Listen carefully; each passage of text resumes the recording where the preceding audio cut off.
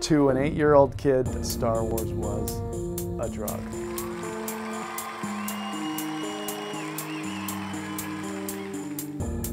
I wanted to be part of the, that Star Wars universe, and I really felt like having the toys was the way to do it. Star Wars was not just another toy that you had as a kid. It changed everything. It changed film, it changed toy.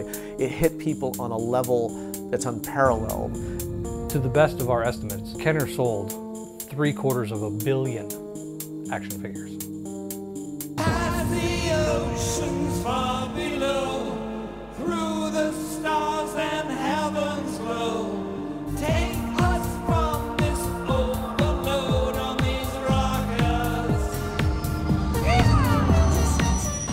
I was a part of something that had an impact on a whole generation of children and they're still enjoying it today. My time at Kenner, those four years are probably the most fun I had in the toy business.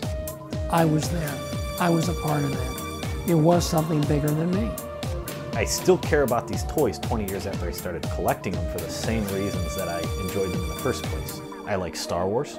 Uh, the sense of nostalgia that I get from owning these hasn't diminished at all, and I still get a thrill out of them.